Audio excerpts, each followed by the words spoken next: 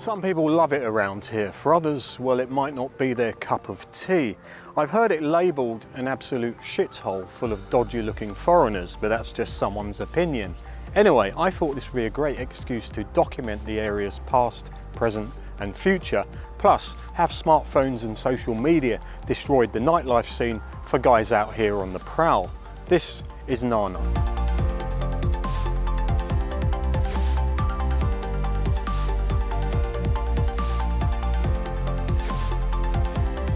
Well, Nana is a bit of a mixed bag, as you know, and there are good points and there are bad points. And for the top hotels around here, it must be a bit of a tough sell trying to promote the area to visiting families or mainstream types of tourists. I mean, I've read posts on social media from people who visited Bangkok and didn't realise their hotel was right in the middle of Nana. Well, that's not to say it's all bad around here. Nana has some fantastic restaurants, pubs and bars. The shopping's great, the transportation links are good.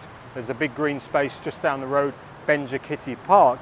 It's just that once the sun goes down around here, that's when the more risque stuff tends to happen and you might see things you didn't expect. Let's just say in certain parts of Nana, nighttime is when the big boys come out to play.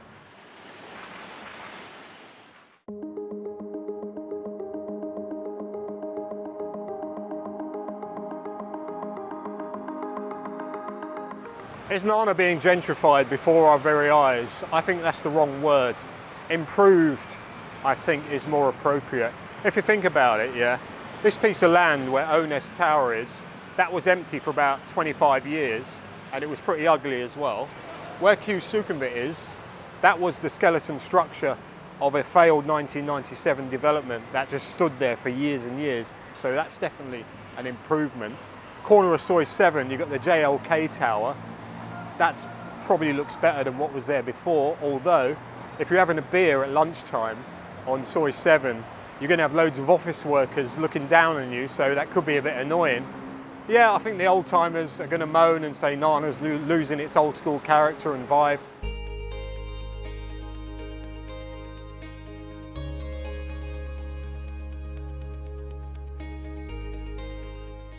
Hang on just a moment this old school character and vibe these older guys keep going on about.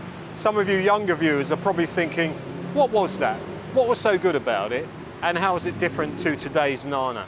Well, the only way I can show you is to play some old video, show you some old photos, and then get some of your comments a bit later on.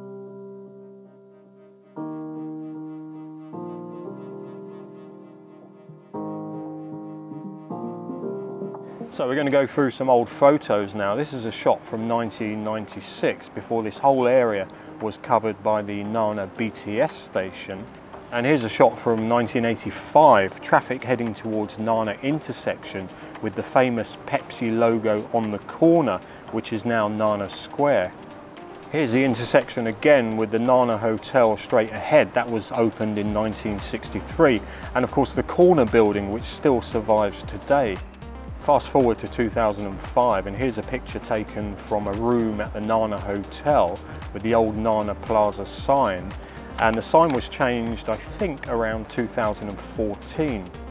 This is the corner of Soi 4 in 1973, the policeman standing there controlling the traffic lights. This was before they built the police box on the corner.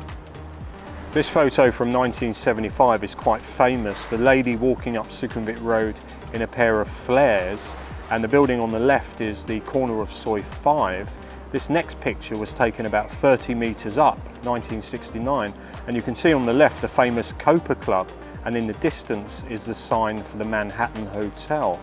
And here is the Copa Club, which opened in 1957.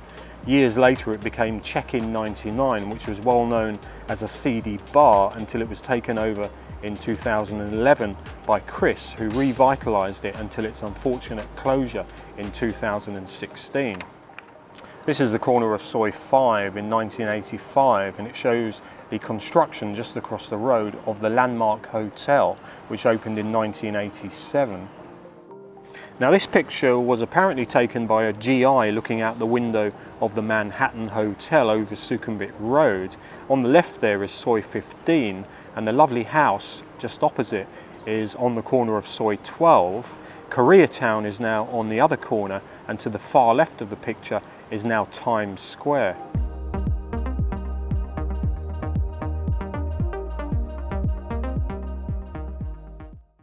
A friend of mine, he came back to Bangkok after being away for 15 years and he used to love Nana. He always stayed around here. He ate, drank, socialised, partied, got laid, got scammed. He did everything you'd ever want to do in Nana except got a suit made. And when he saw how much the area had changed, he was crying. He said, what have they done to my neighbourhood, my sanctuary away from the miserable UK? Where am I going to go now? I suggested he go to Pattaya, but he said, no, this area was special to me. I had a lot of great memories around here. And every guy who comes here on holiday every year has their own idea of what makes this area special for them. So it's understandable.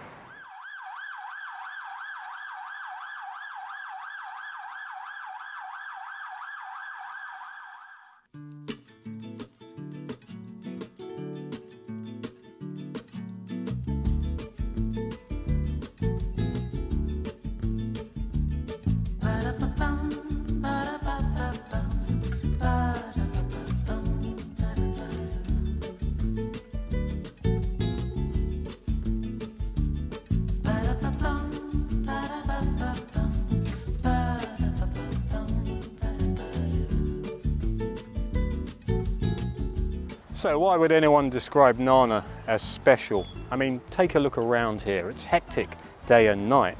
The traffic is relentless. You risk your life every time you cross the street. Market stalls take up half the pavements. Touts call you out, offering you everything from sexy massage girls, ladyboy shows, trips to the floating market, dodgy tuk-tuks, taxis with broken meters, ladies of the night offering you everything from a good time to God knows whatever else. So why do these guys keep coming back?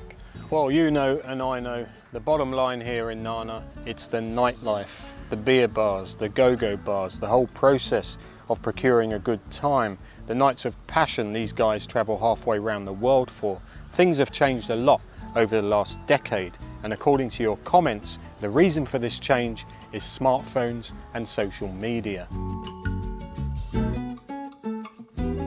Other comments mentioned there's less of a girlfriend experience, it's more of a cold, soulless transaction, a lot less interaction and attention. The women are older, less pleasing on the eye. The younger ones prefer to get their payments online, often from guys they're unlikely to meet. Whose fault is this? The love-struck guy sending the cash or the girls? You can't really blame them, can you? Some call it progress. But for the guys going to the bars night after night, maybe they've got to work a little bit harder to get the girls' attention.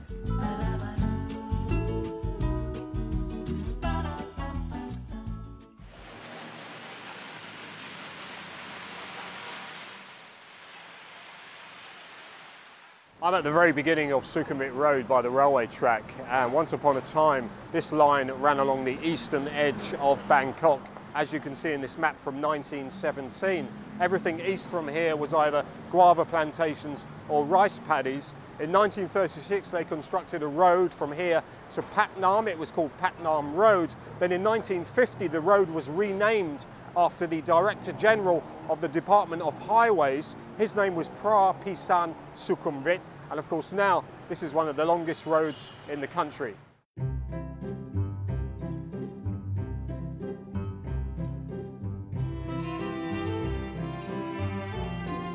Once upon a time, Soi 2 was known for Chinese squatters, guava trees, flooding. Those days are long gone and it's now one of Sukhumvit's quietest streets. There are quite a few hotels along here, some really nice houses, a couple of churches and of course the Atlanta Hotel.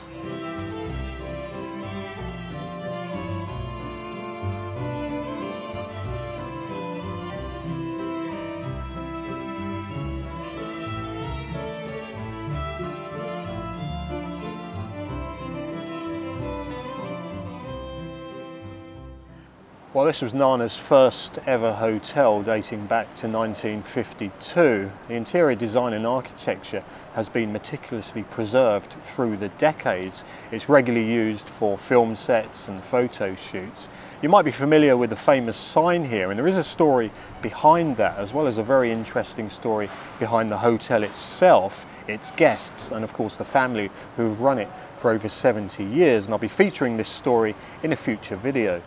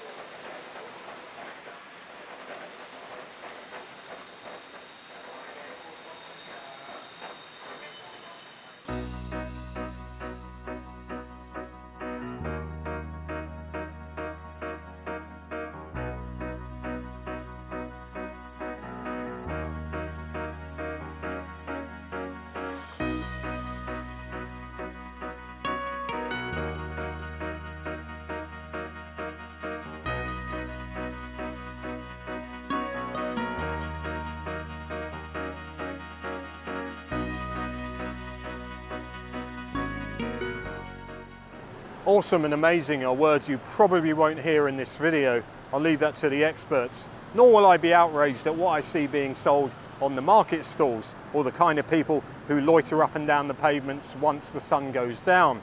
We all know who they are, we all know what they're offering, we don't need to partake.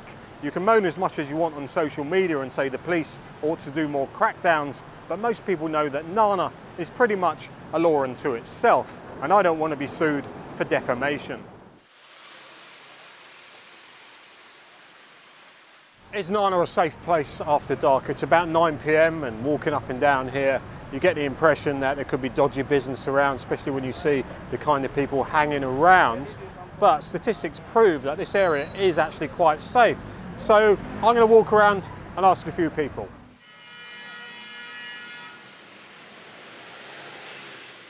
Would you say it's a safe place for tourists to walk around at night? Yes, absolutely maybe one of the safest capital in the world. But like you mentioned, when we are crossing the road or zebra crossing, even there, if there is a green man, we should look to the left, to the right, to the left and the right. Maybe the car don't stop and there will be an accident. So I prefer to stop and, and look and watch if the car will stop for me. If not, I wait.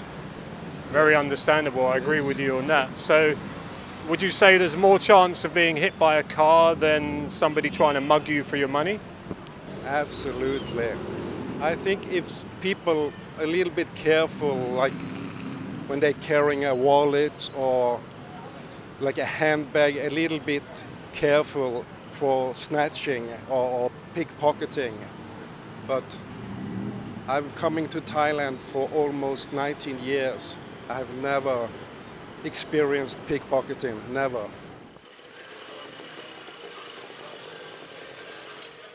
Yorma, do you think Nana is a safe place for a foreign lady to be walking around at night? Yes and no. I mean, I don't think it's that unsafe here. Yes, of course, there's a chance that something's going to happen. There's a lot of drunk dudes here, no doubt about it. What do you think is going to happen? Maybe somebody will come up and try to talk to you, try to pick you up, but I don't think anybody would actually mean any harm. I've never seen anything go down out here. The Chinese TikToker last ah. week was complaining that Nana was a dangerous place for foreign women to be walking around. I've seen the video, you've seen the video. Yeah. Do you think she was doing that just for clicks? Because the police certainly weren't too happy with what she was saying. They said she was defaming a tourist attraction here in Thailand, which apparently is against the law. What do you say to that? Yeah, I, I, have to agree with the cops here. I mean, the video was total horse shit. I saw it. I mean, she's obviously setting up there, staging herself in a miniskirt, where hookers stand, and then complaining when the occasional guy comes up and uh, asks her how much. It was obviously staged. Hey, look, we all do it in the YouTube game. You know, we hop on a trend, and right now the trend in China is shitting on Thailand. So people can get a lot of clicks that way One thing I've found here, and I haven't been here that long, but if you make it into the newspaper, you're fucked. They're gonna kill you. They're gonna string you up, and they're gonna make an example out of you. So don't get in the news. That's my advice to you. Brian, you've been walking around this evening. You come to Nana many times. Would you say this is a dangerous area for foreign tourists to walk around in? No, not really at all. It's perfectly fine for a walk in the evening. A little bit busy, a little bit, you know, you got the red light stuff going on, but it's not dangerous by any means. The things I'm worried about most here are getting a taxi is going to rip me off or trying to cross the street. What about late at night when people are drunk, the bars are closing and the pubs are kicking out? Have you ever witnessed any altercations between foreign tourists and locals? Uh, I can't say that I have. The most I've seen is uh, someone run out on their tab and the staff chasing after them. Did they catch him? No, never found the guy.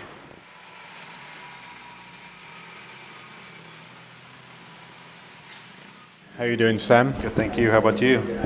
Well, I'm tired because I've been running around Nana trying to find a good Indian food place that does it extra spicy, but I couldn't. So I thought I'd come here. How's business?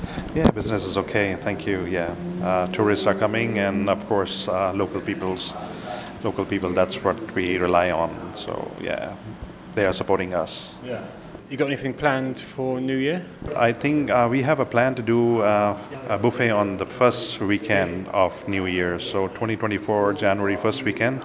Okay, we got this idea, right? If people come here and mention this video, what do they get? Something special? They get a lassi, a mango lassi. That's our specialty too. Complimentary, if anybody mentions about this video or you yourself. Yeah. Okay. I know we're not really in Nana, but I thought I had to come. Anyway, Sam, thanks very much. Thank you very much. Pleasure to have you again, sir. Thank you.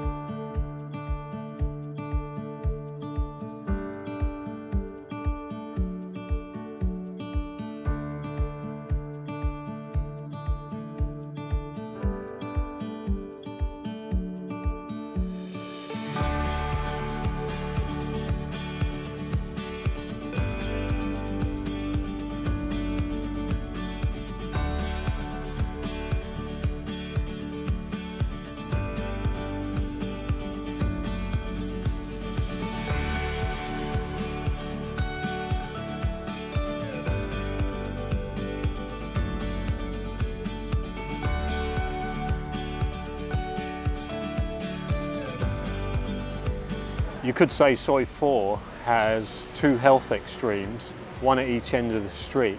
At the top end, you've got the bars and the pubs, places where you could potentially lose your money, your pride, your dignity, and damage your liver if you drink every night. But at the other end, you've got a place where you could improve your health, Benjakitti Park, walking, jogging, cycling. And I was just about to say, and get some fresh air, but the air in Bangkok is pretty bad at the moment. And if you're out long enough in it, like I am, you get an itchy throat and you might start coughing. And that is just about enough to make you run to the nearest bar and grab yourself a cold beer.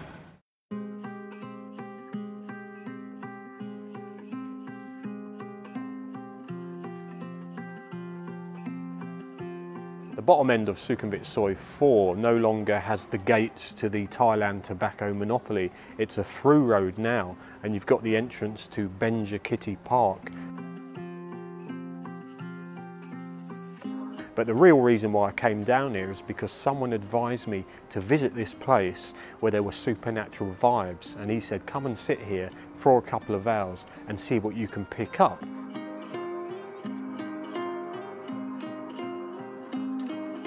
Well, you're probably familiar with this location. I have filmed a couple of videos here in the last year, and if you do come down here, it is very polite to slip the security guard 100 baht so he lets you in. A lot of people come here to take photos, which is understandable because it is a pretty famous film set. Now, this is where they filmed the Serpent TV series about the serial killer Charles Sobhraj. This swimming pool and the apartment building behind me stood in for Kanit House where he used to live in the 1970s and that was in Soi Saladeng in Silom. So whoever told me to come here and try and pick up any supernatural vibes probably didn't realise that this was just a film set and not the actual place where any crime took place. Although looking around at some of the balconies up here and the clothes hanging up, there's definitely some crimes of fashion going on around here.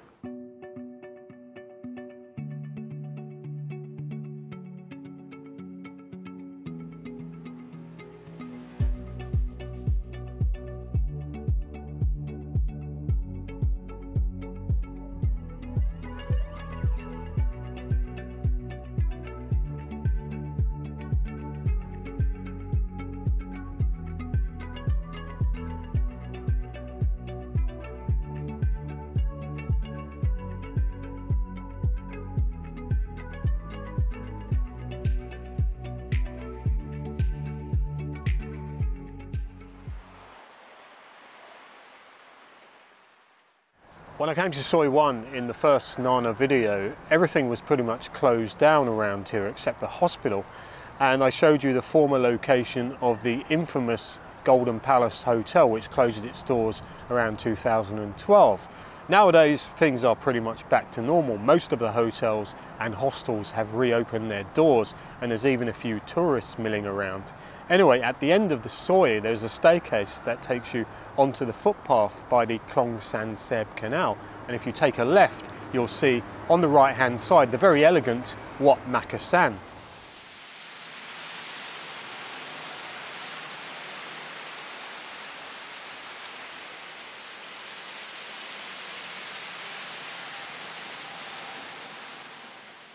Well, this temple is the only temple around the lower Sukhumvit area and there's actually more churches around here than temples which I thought was interesting. Anyway, I've walked so many times along this canal that I can tell when the water's dirty or clean. There is a bit of a smell off it at the moment, but it's actually quite clean. It's grey green. When it's really dirty, it goes to a dark grey. Anyway, if you carry on walking along this path, you'll come to several slum communities. One of them has just vacated a load of shacks that are almost collapsing into the water. And just round the corner from them, living either side of a narrow and dirty canal, is the Chalom Anasond community.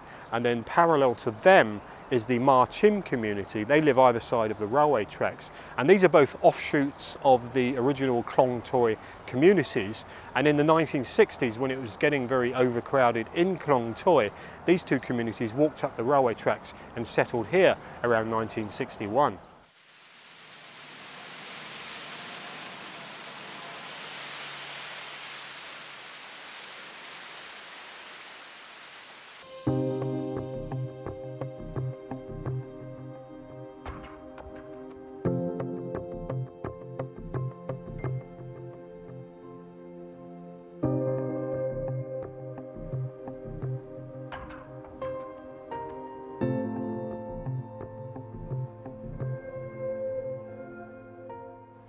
Well, there's still plenty of 1960s era hotels going strong here in Nana, places that were purposely built for GIs on R&R from the Vietnam War from the mid-60s to the early 1970s. The US military made up a huge chunk of tourist numbers back then and they stayed at places like the Grace Hotel, the Nana Hotel, the Raja, the Park Hotel, which is now closed by the way, the Miami, the Manhattan, there's probably quite a few more.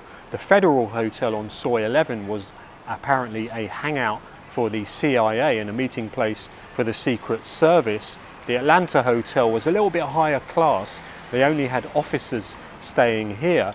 But according to my research, the most notorious was the Chavalit Hotel, where there was all sorts of weird goings on. And when the US military left, they sent a bill to the US government for $1 million in damages. This hotel later became the Ambassador and here's a bit of interesting history for you. In 1985, the Ambassador Hotel had the first ever coupon food court in Thailand.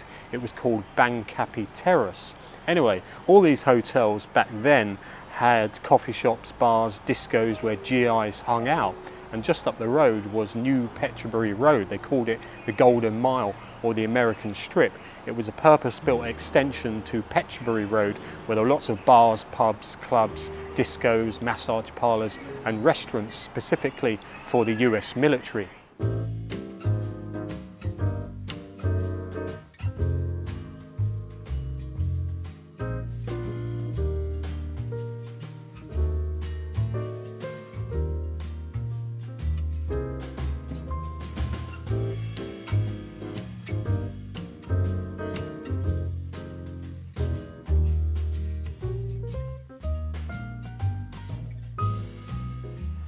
Well, the first office tower to be built in Nana was the Krung Thai Bank headquarters back in 1982, and it's still going strong after almost 42 years, and some pretty nice Christmas and New Year decorations as well.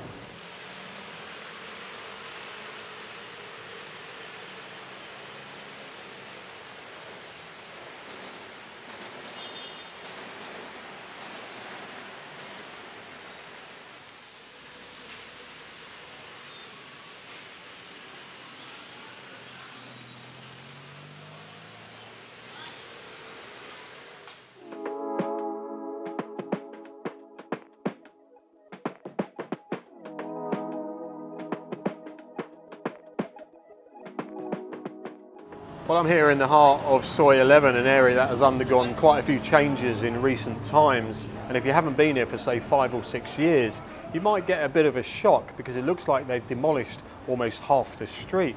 They're planning to build this hotel retail complex, and judging by the architecture and design, it's neither new or innovative. It's just going to increase traffic around here. But hey, that's progress, isn't it?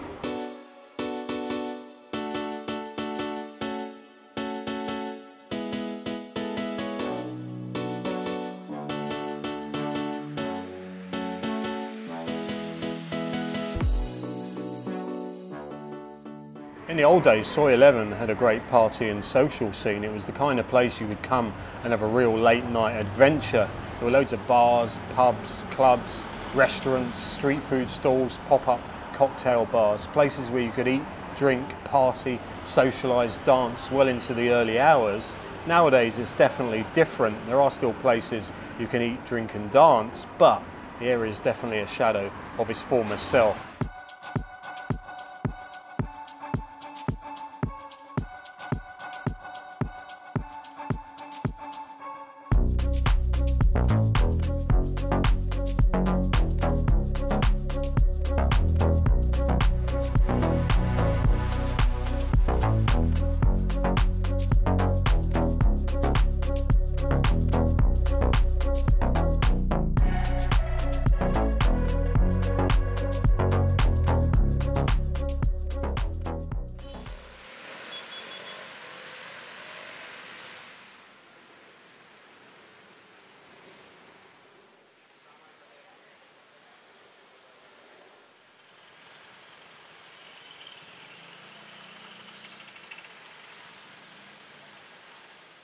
When they built the trendy building here about 15 years ago, I always thought it was a bit of a letdown. Sorry if you live here or you work here, but I'm sure it's really nice inside. But the design looks like it was done in about two minutes, probably by the son of some hyso who got the job as a favour.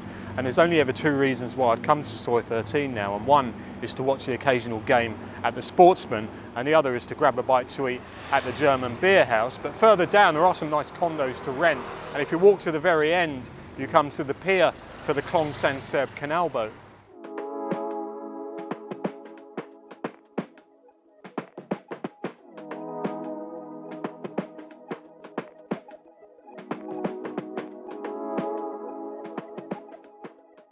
Well, this part of Sukhumvit Road, just after Soi 13, in front of the Sofitel Hotel, there's lots going on. It's about 9.30 and there's lots of taxis lined up with broken meters down here and you've got ladies of the night hanging around. There's market stalls selling vapes, sex toys, all that kind of thing. You've got the Thermae, which is getting busy just down here. That opened in 1966. And if you saw my first Nana video, you'll know that I covered the complete history of the Thermae. So I thought to freshen things up a bit, I'll call in Nana nightlife veteran and best-selling crime fiction writer, Christopher G. Moore.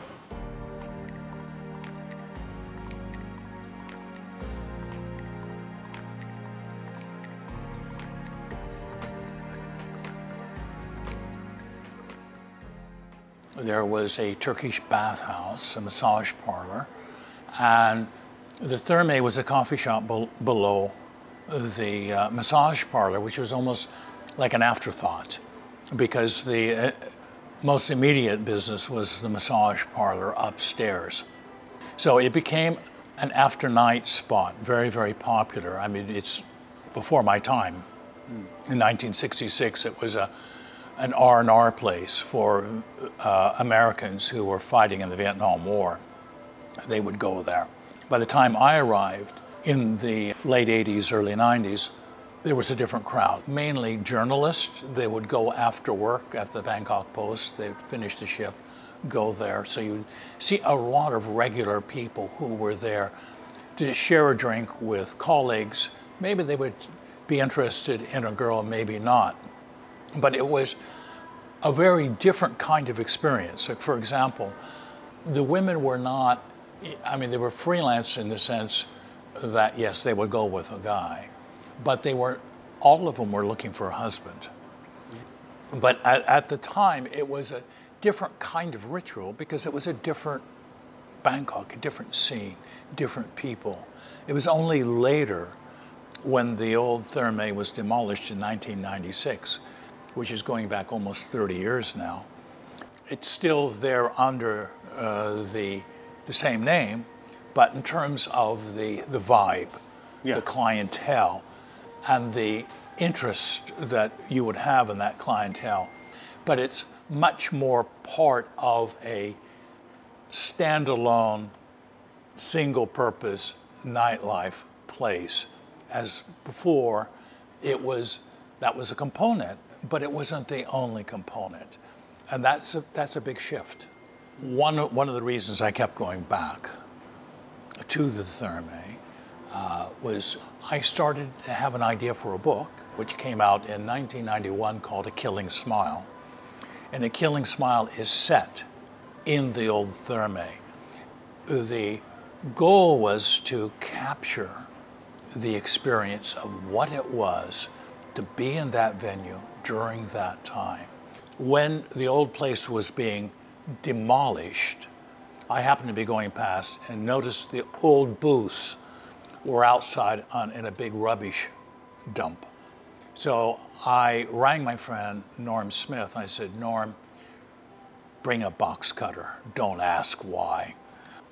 So Norm, with the skill of a surgeon, basically stripped the booth of the uh, Naugahyde, this here. So, so there is a piece of the old Thermae, the old booths in the Thermae, which are inside the book. Here, I'll show you.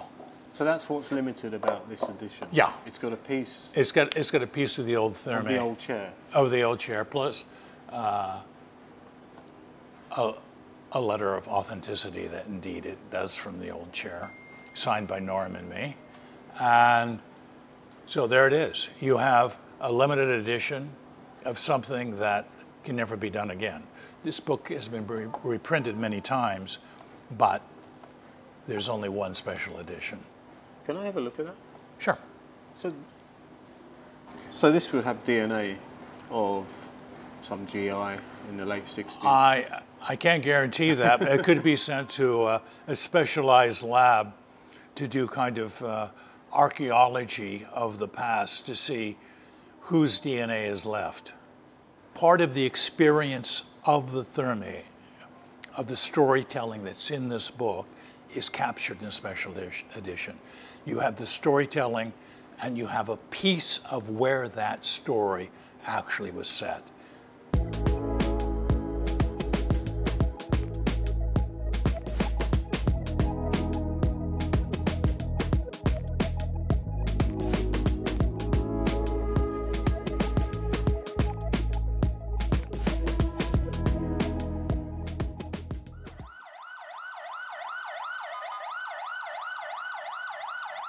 So this story is probably best told at night because it is a pretty dark episode in the history of Nana. So how can I start this? Well, if you're under 45, you're probably too young to remember Sukhumvit Square. So let's take the timeline back from the present day to Sukhumvit Square. So the corner of Soi 10, there's a development just started construction called 10th Avenue. And the land that it sits on has had a bit of a turbulent history. Most recently, it was a place called Art Box, which was an outdoor market with food stalls. Before that, it was a green space called Chuvit Park. And before that, it was a ramshackle collection of beer bars called Sukhumvit Square. Now, the transition from beer bars to green space was not smooth. And on the night of the 26th of January 2003, an incident occurred that will be forever etched into the history of Nana and Sukhumvit.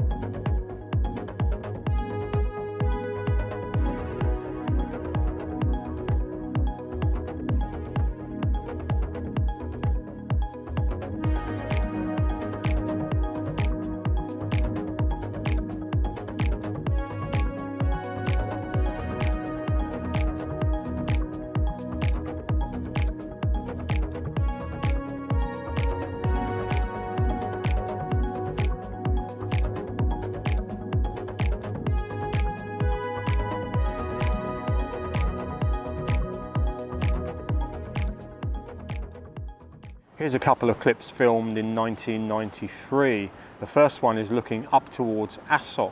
This clip is looking back the other way towards what is now Nana BTS station and a lot of the buildings in this picture from 30 years ago are pretty much the same now.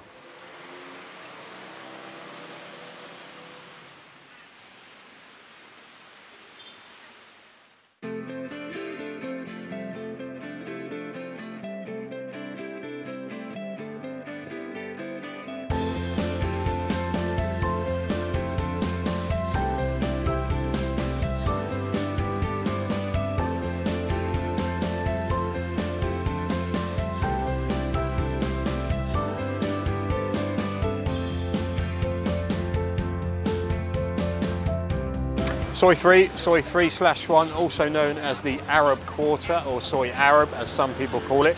It came to life in the early 1970s when lots of Middle Eastern families came here and opened up businesses and shops. This area was hit pretty hard by COVID. Quite a few shops and restaurants had to close and it's a little bit quieter around here. But if you want an alternative choice of things to eat, it's definitely a place I recommend. My favorite is a place called Petra. They do Yemeni food and I'll leave a link to that in the description.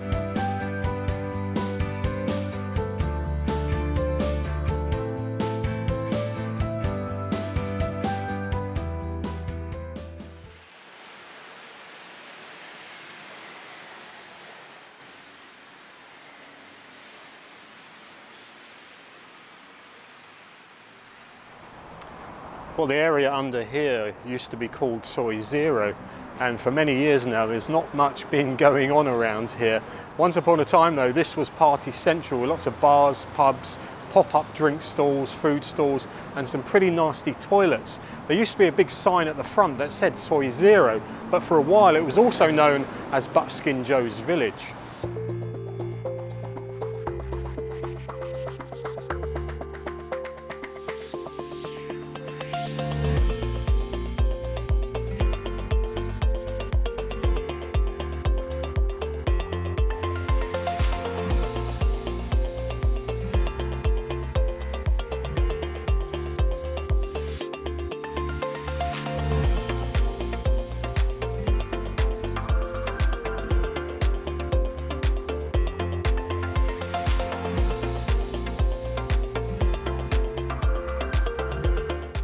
So there we are, that's an alternative look at the Nana area, the history and the future.